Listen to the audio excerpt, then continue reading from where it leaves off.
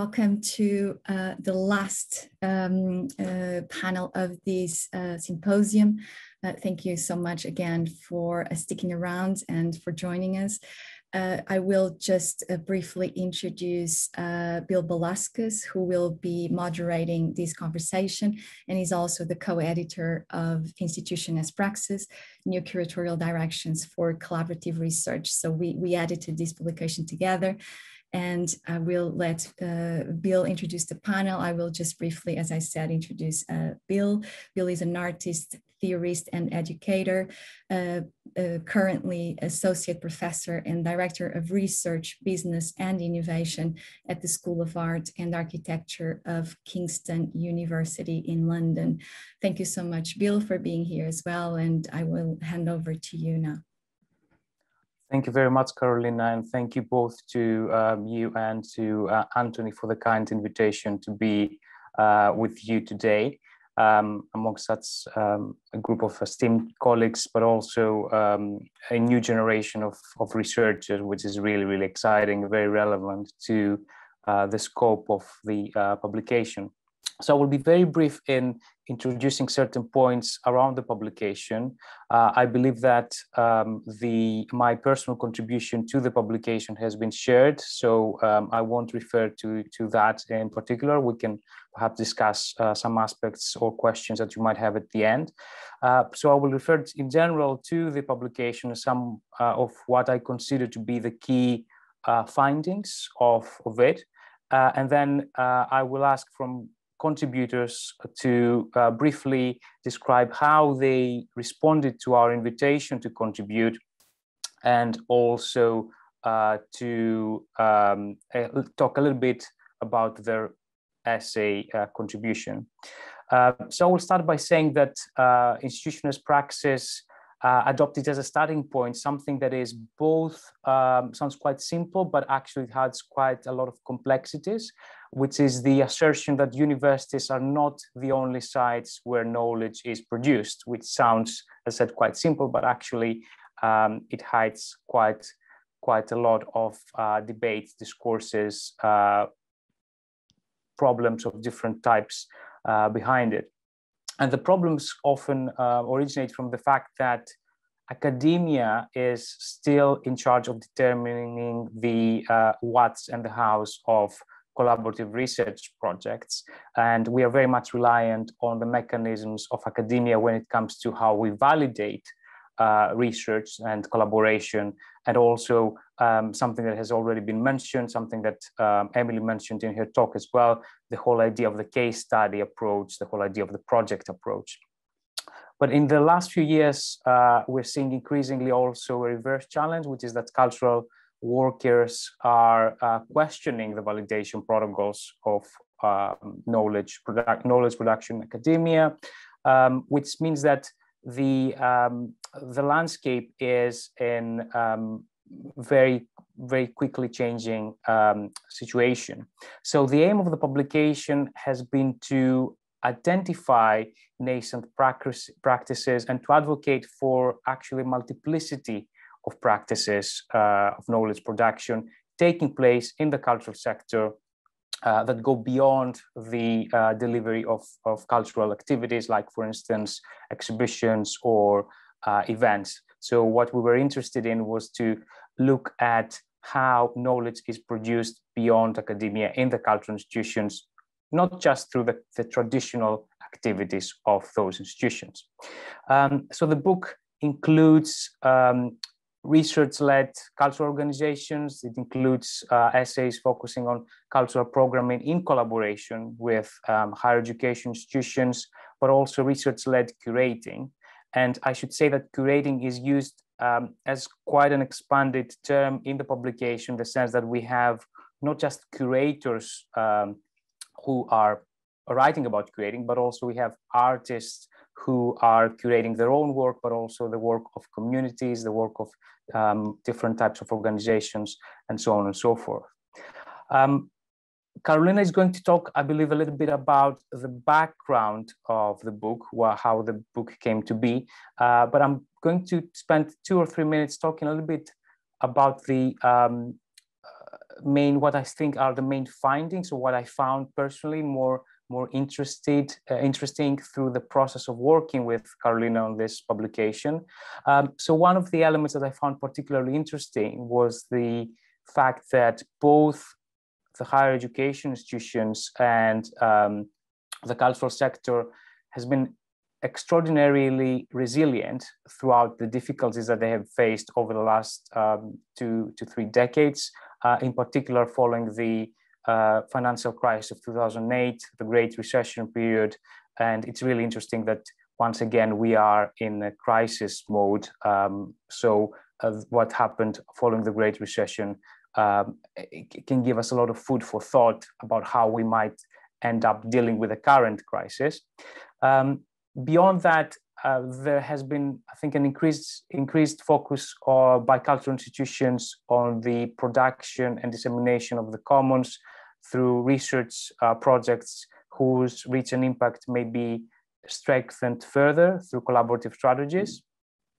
Beyond that, the challenges and opportunities for both sectors are, uh, it seems, both vertical and horizontal. So we have different types of higher education institutions, teaching intensive and research intensive, and also different types of cultural institutions with or without collections, local, regional, national, um, with different models of funding, income generation.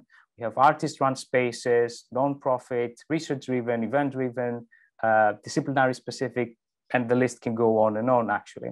Uh, and despite all those differences, there are also very important commonalities that are often being ignored due to the lack of systematic dialogue and uh, documentation.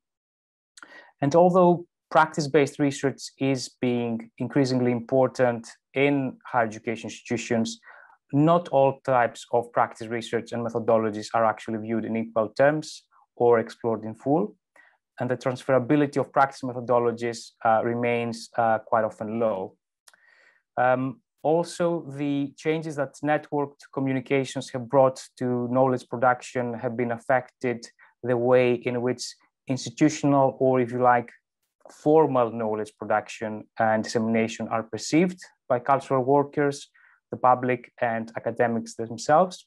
And then I think a final point, uh, which I found really um, interesting and relevant to um, current debates, is that uh, there are multiple historical collaborative models uh, which have been under theorized, and quite often such initiatives were considered as being um, avant-garde perhaps at the time and can only, can only now be uh, appreciated thanks to uh, increased connectivity as well as renewed appetite for um, alternative formats of cultural praxis.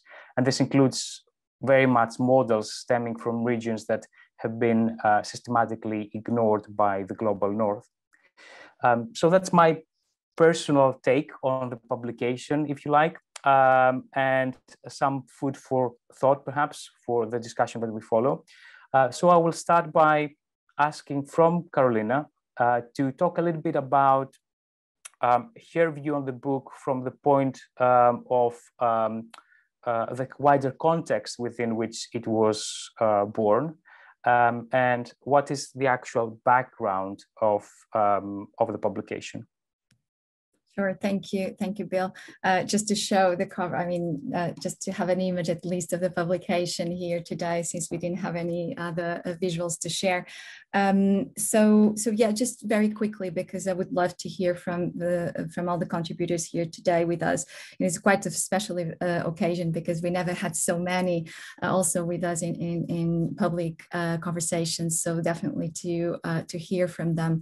Just to say that institution as praxis before it became the title of this publication. It was a program I initiated at Nottingham Contemporary when I was head of public programs and research uh, at Nottingham Contemporary, which is a contemporary art center in Nottingham in the UK.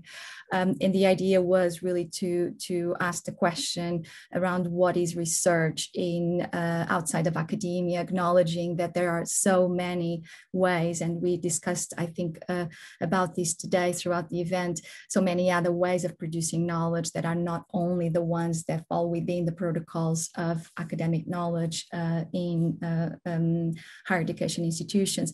So it was a way of mapping, uh, let's say, uh, uh, different methodologies and research-driven practices coming from not only artists but also curators, and you know, in another way also from cultural institutions in terms of their approach to programming. Um, and so not only to map, but also to develop inside uh, Nottingham Contemporary uh, these research strands that was the title institution as praxis that would allow us to uh, not only have a self-reflective approach to the work we were doing to establish what i call the infrastructure the curatorial infrastructures for a research-led program uh, but also for us to be able to program a series of activities that would investigate uh, also query what those potentials were. And so uh, the publication came as a kind of a continuation of that inquiry uh, and also a possibility for me to work with Bill uh, to invite colleagues that are working in related ways, as Bill explained now, related ways to these questions, coming from uh, colleagues, academics, practitioner researchers, as Emily would name it, practitioners, researchers, but also from uh, colleagues that are leading institutions or programming international uh, curatorial programs. So it was a bit of a combination of getting kind of the sense of what's going on and hopefully to have these contributions also contributing to the discussions that are happening to get, uh, today in academia, especially in relation to practice research, how these methodologies could then be contribute directly and feedback, let's say, to the ways we understand research currently in academia.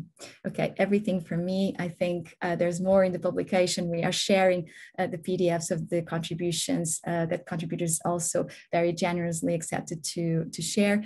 Um, and I um, back to you, uh, Bill.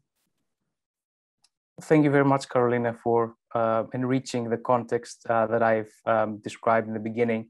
Um, so as, as uh, we mentioned, um, we would uh, like to take advantage of this rare opportunity to have so many of our contributors today uh, with us in order to hear from them about how they responded to um, the invitation and what are the key points in their contribution and how they relate to um, the subject of today's um, event. Uh, so I will ask from each one of the contributors to briefly talk about how they responded and the essay they uh, contributed, uh, perhaps three to four minutes so that we are also uh, have uh, enough time at the end to open up the discussion.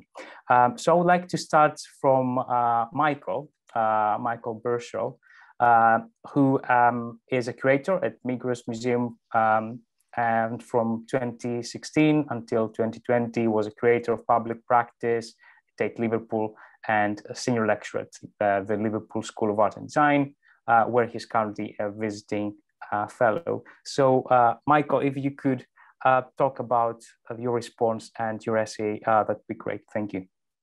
Thank you for the um, introduction. Yeah, I mean, I was approached, I think, initially to contribute by Carolina because I had. Um, my previous post was a joint um, appointment between Tate and between uh, a university. So um, I, I, was I was doing what, what everyone was talking about in terms of bridging this gap between higher education and a, and a public institution. And I think um, for me, the opportunity to write the essay was um, taken as a, a moment to reflect on some of the, the program that I'd been curating at Tate and how this was underpinned by my research as a um, art historian of sorts, and um, this notion of publicness that was very much present in my uh, research at that time. And at, what kind of coincided with that was that at Tate, they'd recently started a project called Tate Exchange, which is a uh, it's a space, but it's also a platform for um, exchanges with with audiences. And I had the chance to to program quite a lot of activity in there with uh, with artists, with academics, with with researchers, with um, different people from different organizations as well. And it became apparent that um, you know I previously curated exhibitions, but this this this project, this curatorial platform of Tate Exchange was was was a new a new way of working that that was neither an exhibition nor a kind of educational program. So somewhere in between a kind of para-institutional model. Um, and I basically used this to um, reflect on some practices that I had worked on with various artists. And then I kind of put together a sort of list um, in order to define what this actually means by public practice, um, which was my job title at Tate. And I think at this point, I'd, I'd, I'd um, convinced myself what I was doing effectively inside the institution, but also wanted to have a moment to reflect with other peers and scholars internationally who have similar roles and also uh, looking more critically at what does public practice actually mean. I mean, it's it's it's still a term that I'm quite critical of, but I think it certainly fits uh, some um, institutions and some curators. I would say at Tate, it was probably at this time um, a little bit undervalued and not really understood within the institution. And I think part of the problem again is maybe Emily would attest to from her talk is that there's there's, there's a kind of um, uh, misunderstanding around how research fits within an organization and what curators should and shouldn't be doing and certainly in my in my own practice this has always uh, encompassed elements of public discourse it's very uh, important to my my work. I, I, don't believe that curators operate as single authors. We we usually converse and collaborate with other academics and indeed artists, but also if you're working within a public institution, you have this sort of duty of care to uh, listen to your uh, colleagues and other researchers within within the museum. And at, at, this particular time, I think the program at uh, Tate Exchange, Tate Liverpool was really trying to do something new, uh, but still there, there was a bit of hesitancy from my colleagues, like, why are you inviting an artist to do a performance in the gallery? Why is it not part of the exhibition on the main floor? Um, this kind of idea of like institutional hierarchy was was was very much at, at play, um, and I, I, think listening to the responses today and also from from Emily's talk, it's also for me uh, allowed me to reflect on my my current role uh, at the Migros Museum for Gegenwartskunst in in Zurich and how the notion of of publicness and uh, public engagement is is quite distinctly different from a UK perspective. Um, the whole the the nature of public museum and the way that engagement is done with audiences is through Vermittlung in German or mediation in, in English. And um, but we're kind of in this transitionary phase where we're trying to adopt some of those, as my colleagues say, Anglo-Saxon models of working.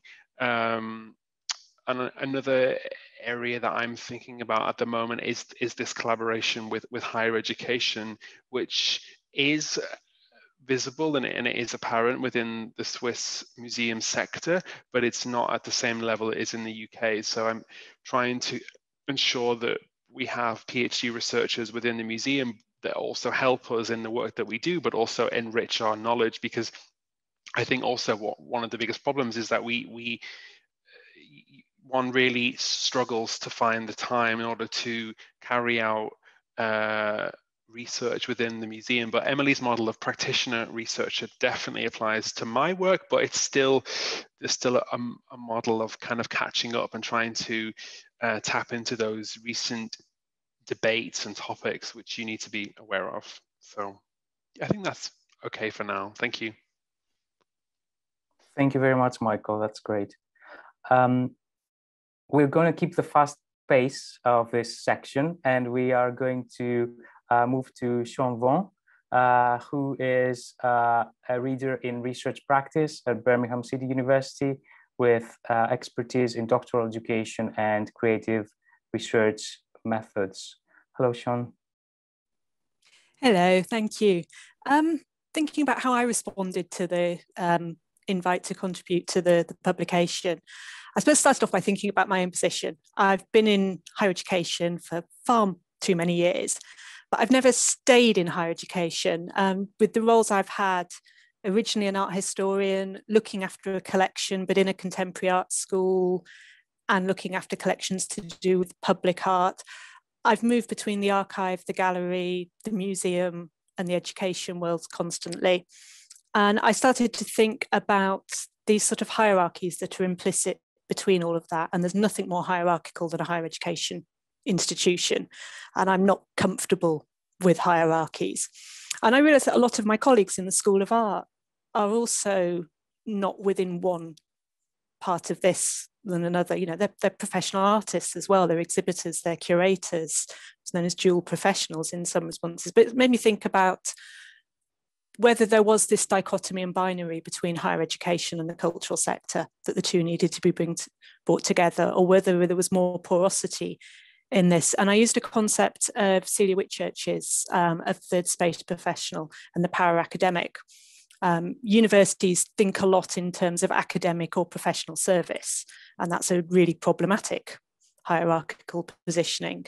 Um, and thinking about the third space and the para-academic and how these things could be blurred and how research could fit with that also got me to thinking about how both the cultural sector and the art world and the academic research world tend to be very individual focused. And yet the most exciting research is collaborative. So thinking through institution as praxis rather than the emphasis on the individual um, encouraged me to think through how we think and talk about research in an academic setting, but how that same language is just as applicable in other settings. Um, it's not that it needs to be translated, we just need to let go of some of our assumptions.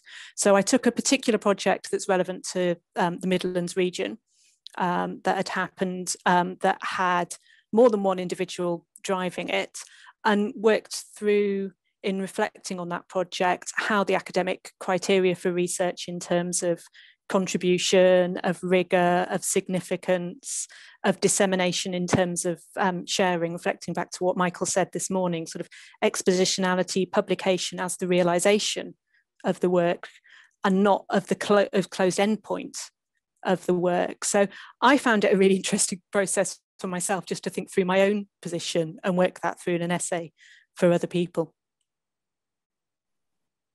Great, thank you very much, Sian. That's great. Um, we've heard um, Emily Pringle's uh, great talk, but um, I'm gonna ask her to uh, perhaps repeat some of the things you mentioned uh, through a different lens, which is slight or slightly different lens, which is the lens of the publication. Um, so as, as uh, you know, Emily is the head of research at Tate since 2019. Um, so Emily, if you could talk a little bit about um, how um, you, um, you, you thought of responding to the publication um, and perhaps uh, connecting it uh, with the general context of what we have been discussing today. Thank you. Yeah, of course. Um, and thank you again. I mean, I, I, I really welcomed the opportunity to, to contribute. And as I said in my talk, the, the, the area that I really wanted to focus on was this notion of, of trust. And in particular, I'd been looking at these um, theories around what constitutes professionalism and how do you define a professional. I was trying to interrogate what is a practitioner, what is a professional, and, and at times the two are kind of interconnected. And I was really interested in this kind of model of the professional as, as someone who has specialist knowledge, um, which they have a responsibility to employ for the greater good. Uh, uh, but but because society sees them as having that knowledge, they're they're imbued with a huge amount of trust and given a lot of autonomy to carry on doing what they're doing. Um, and um, uh, but but they also have responsibility. So it's this kind of these four characteristics of knowledge, autonomy, trust, and responsibility. And I was really interested in the context of the publication to think about how that can be applied to the notion of the curator and um, and the extent to which curators uh, fulfill those criteria of the kind of professional, but also how, um, in relation to this kind of model of the practitioner researcher, which I was developing, how actually some of those characteristics are really problematic in today's museum, not uh, and most um, immediately this notion of autonomy Uh, so I'm really interested in what Sian's just said, and I was busy writing down all para-academic. I must have a good old look at that. Um, uh, and that sense that um, going forward, the the uh, the that, it is vital that actually um, the curator uh, establishes trust not through being autonomous, but actually through constantly reflecting and making visible uh, that reflection or manifesting that critical reflection on their own practice with others that that is more relevant to how museum professionals need to work and that and locating that within a research process is is is a kind of positive and um, realistic way for the for the for the curator for the curator to work going forward. So so that was kind of what I was interested to explore in the essay. That's great. Thank you very much. Um, and finally, I will move to um, Anthony. Um, as you know, Anthony Downey is a professor of visual culture in the Middle East and North Africa at Birmingham City University. And once again, um, Anthony, the same question to you. Um, I can, don't think I can see whether you are online at the moment. Hopefully you are. Um, okay, great. Uh, so the same question to you, really. How how uh, did you perceive the invitation um, in terms of the subject area of the book, and um, um, what what led you to to write about the the, the subject that you wrote, really? Mm.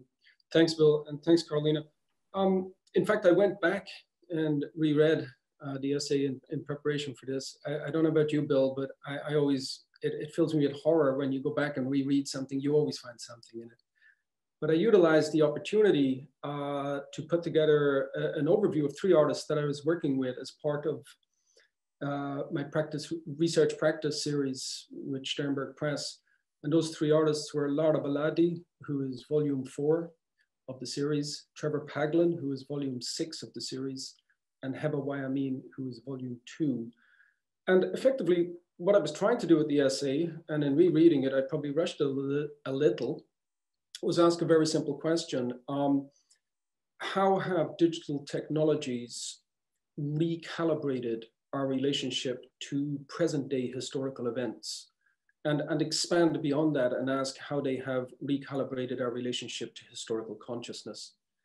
And the question was compounded, I guess, by the fact that um, these digital technologies often work in a very recursive fashion. They're based upon uh, black box technologies, deep neural networks, algorithmic rationalizations that inevitably create a sort of mise en abîme, a very impenetrable system which is very difficult to enter into.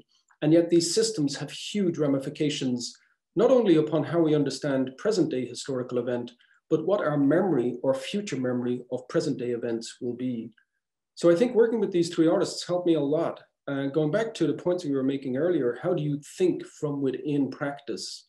And what I wanted to do with that essay was formulate a methodology for how these artists think within the apparatus of digital technology to deconstruct precisely these black box systems.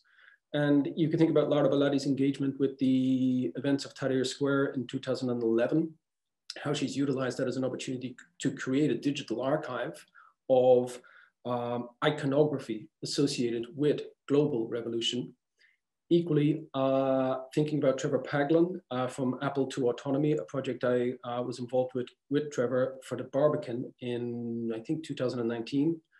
And following up with Trevor on a number of occasions, and now towards this book that we're publishing, in relation to how, the, how algorithms are defining issues around racial determinism, reinscribing all of the colonial apparatus, but reinscribing in, a, in an even more insidious way, uh, as if there is an inevitability to it.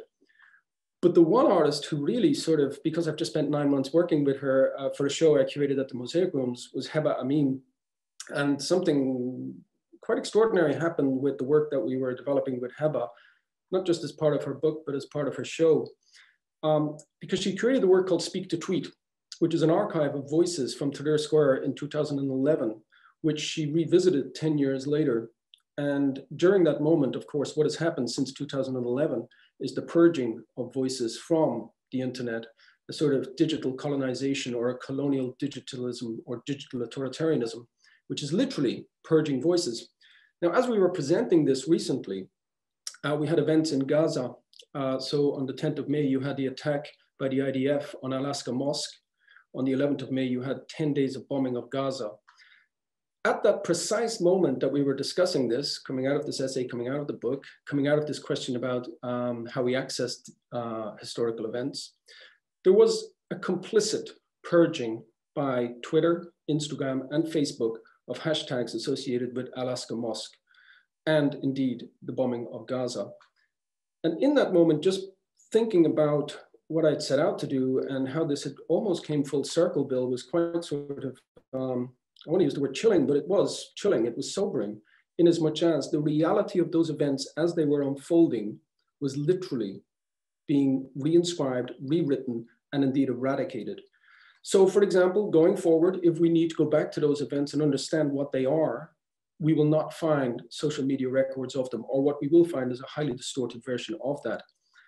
And the point I will make, it was thinking through Heba's practice in association with my research that helped me to articulate what those recursive systems are doing. And again, this goes back to the point we were talking about earlier. How do you think through digital methodologies, digital apparatuses, which seem all pervasive? But in reality, we need an entry point. We need a critical point of entry in order to deconstruct how they are controlling not just our present, but indeed controlling our future or potentially annexing our futures. So it's great for me to go back and look at the essay. Uh, there was a degree of continuity. If I had my time all over again, I would write a very different essay, but I think it would pick up on those specifics, i.e. what are digital technologies doing to our relationship to history itself. Thanks, Bill. Thank you very much, Anthony. That's great. Um, and I think it's it's really it was really interesting to hear uh, all your um, responses because it was um, quite um, quite evident that certain themes were were um, recurring and starting from uh, how you finished, Anthony, uh, talking about um, an issue that also Emily touched upon, which is the issue of trust. How can we be functioning as cultural workers uh, and as professionals uh, who um, can be trusted by the public if the uh, basis on which we're working is so um, uh, volatile, really, and uh, making sure that we respond to those issues in a way that is uh, not just trustworthy, but also uh, does really justice to the way in which the role of um, cultural institutions and cultural workers is being seen or should be seen. Uh, and it was really interesting also for me to hear um, about this notion of reflection, starting from Michael, who talked about the opportunity to, to um, reflect through writing the, uh, the essay, time to take, um, take a break from, from uh, his work uh, in order to reflect on the notion of publicness and what does public practice mean and how does research fit within within that and what does it mean to be mediating um, really which can be also um, obscure uh, well obscured and also um, delimited by um, the hierarchies that exist in our institutions just like Sian mentioned how important hierarchies are in the way in which we uh, we do our work we do what we we think is right um, and um, I mean, that's those are just some very quick points around um, what what has been um, mentioned. Um, I think we have time to obviously take questions from um, colleagues who are present um, to talk about the uh, publication. If you have any specific questions about the publication, but also I believe there's also time, and please correct me if I'm wrong, Carolina, uh, to uh, use what has been said in this last part of the day in order to expand the discussion um, that we had earlier. Great. So if, I don't know if we have any questions, uh, either to specific authors or uh, general comments. I would say that probably, uh, Anthony, we have uh, until four. Um, and then uh, if uh, we can start closing the session after four, um, that would be ideal. Great. um, I think we have a question from Rob. Um, does not contemplation and reflection need time and space? Does it need to be more challenging to rework? Uh, every blow uh, the maker strikes is with the knowledge that a revision is harder to achieve. Every physical blow is made with a physical sacrifice that is harder to undo. Does technology have the power to make decision making to matter of fact. Um, I think it has particular relevance to um, the final um, comment that you made, Anthony. So um, I don't know whether you'd like to um, respond to that. Thanks, Rob. Um, thanks, Bill. Uh, not necessarily, but I would just say in relation to Rob's final point, does technology have the power to make decision making to matter of fact? Yes, absolutely. But there is a danger here that we get involved with a notion of technological determinism, as, as if somehow technology has usurped our agency. This is hugely problematic, uh, something I struggle with. And I would suggest that we need to rethink that technological determinism, the way in which social media operates, for example, the way in which it operates in a political context, and reconsider the following. Um, technology is not an addendum, it's not a supplement to our being it is imbricated with our very ontology. It is, to all intents and purposes, predicating our being in the world. So it's not a matter of taking control of technology. It's not a matter of bad technology. It's not a matter of good technology. It's not even a matter of technology making it easier to pull a trigger or technology making it easier to affect surveillance or drone surveillance. It's a question of understanding how technology is ontological and predicates the self and take it from that starting point, I think we can reorient ourselves around what we understand by contemporary forms of technology. Thank you very much, Anthony. Um, I cannot see any more questions in the chat, uh, but you can also raise your hand if you like uh, in order to ask a question. We have, I think, two or three more minutes before we move to the final uh, part of the day. Bill, can I ask you a question? Sure, yeah, please do. So, because you started out on this process with Carolina quite some time ago, and because we have had the hiatus of the pandemic and so forth, I use the word hiatus advisedly. I mean, what have you learned from the book? Because effectively, we're now in such a different space, um, conceptually, historically, economically, socially. I mean, what have you learned from the book? What lessons have you drawn from that engagement across so many different topics?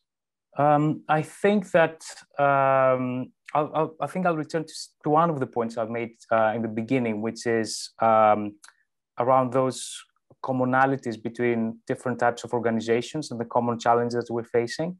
Mm. And it's particularly relevant, for instance, um, to the this notion of time to reflect time, the, the colonization of time through um, both HEIs and in the cultural sector. Um, when um, I, I, was talking to colleagues coming from both universities and the cultural sector, uh, there's a constant um, um, argument that uh, arises, which has to do with how um, everybody is overworked, overstretched, and have no time to reflect. And it only seems that during the pandemic, this has become uh, worse. Um, the situation in academia uh, has become much worse. Uh, so the um, commonalities became even more apparent, I think. Uh, and obviously, in the cultural sector, we're seeing a lot of organizations struggling to survive. Um, I think it will become really evident with universities too very soon, especially, I should say, specialist institutions, smaller institutions, institutions that focus mainly on the arts and the humanities. And I think, as Carolina mentioned earlier, um, I think it might have been during Emily's uh, talk uh, and discussion, uh, the pandemic has been a catalyst that has um, helped um, developments that had already been um, functioning really or, or um, elements that have been already developing to become uh, much quicker in their growth mm. um, and I think that that's what we're seeing at the moment. We're seeing the attitude of the current government towards uh, the arts and humanities. Uh, if the cuts that are being proposed materialize, uh, it's going to be totally devastating. Obviously, we know that this didn't come out of the blue. We know that even before the pandemic, uh, and as a lot of um, the contributors to the book wrote, uh, there has been a continuous attack on um, the arts and humanities and cultural institutions. And uh, that's why I talked also about the resilience. we have been really resilient during the previous crisis. The question is, how will we be able to respond even more quickly and in a more consistent manner to the current crisis? Because it seems that what is at stake is even um, more uh, important now.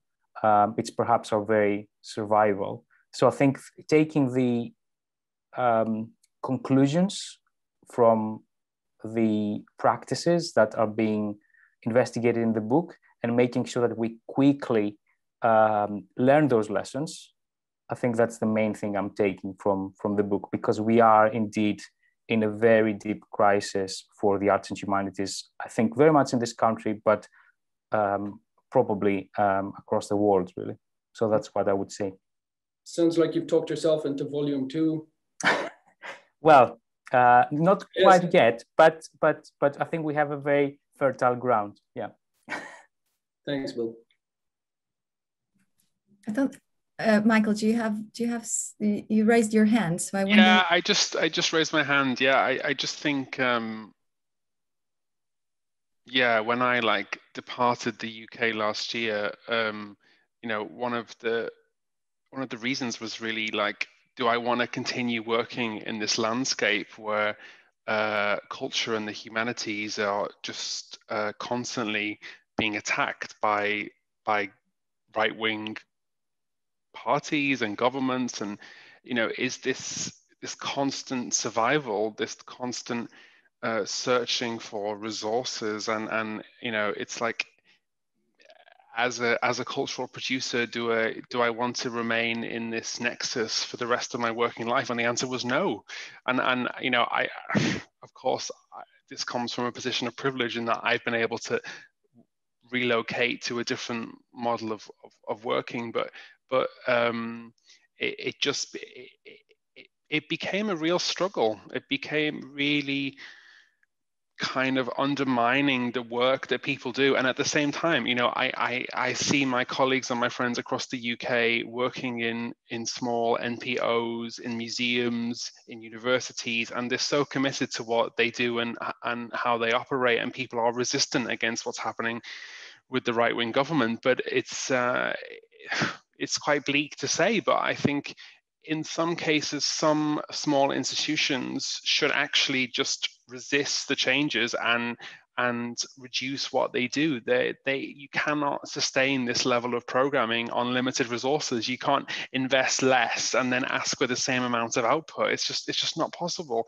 And you know, it's, it's one of the perils of like neoliberalism that everybody has to work harder all the time. But I just think that there has to be a, another alternative.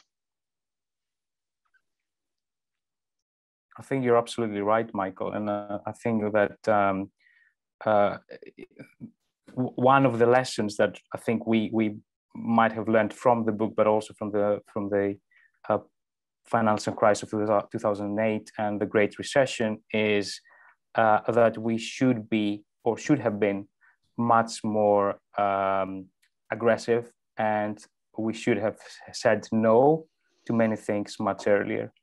Um, and um, I think that's something that, um, in a way, um, we um, has put us in an even more precarious position at the moment.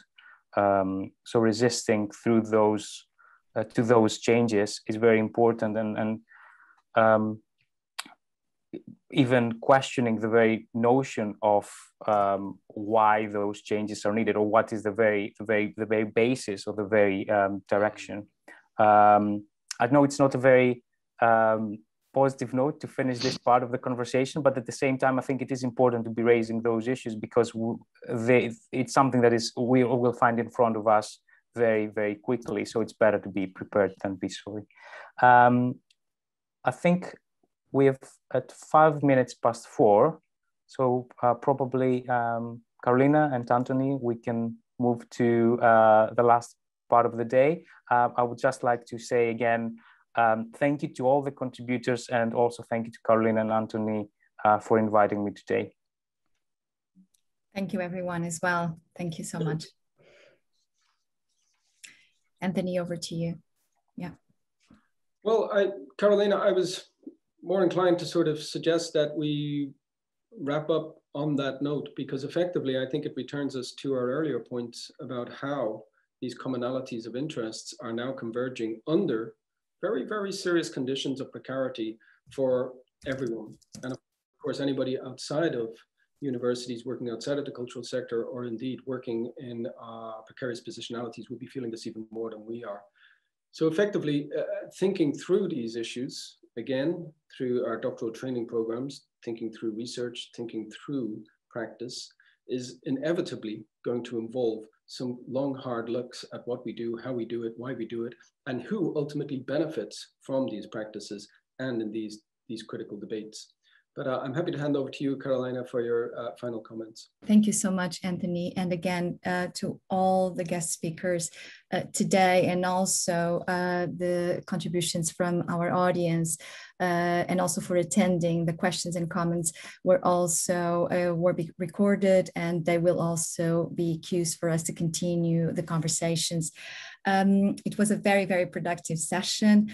Uh, finally, I would like to acknowledge the generous support of the HRC Midlands4Cities doctoral training program, who made this event possible, as I said at the beginning, including the director, Nicola Royan.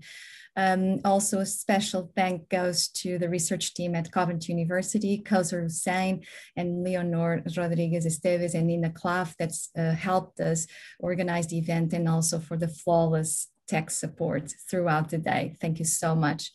And finally, to my co-host, uh, Anthony Downey, for the insightful conversations uh, throughout the preparation of these events and the ongoing camaraderie. Um, this is all from me today. I hope you enjoy the event and have a lovely evening. Thank you. Thanks, Carolina. Thank you to everybody.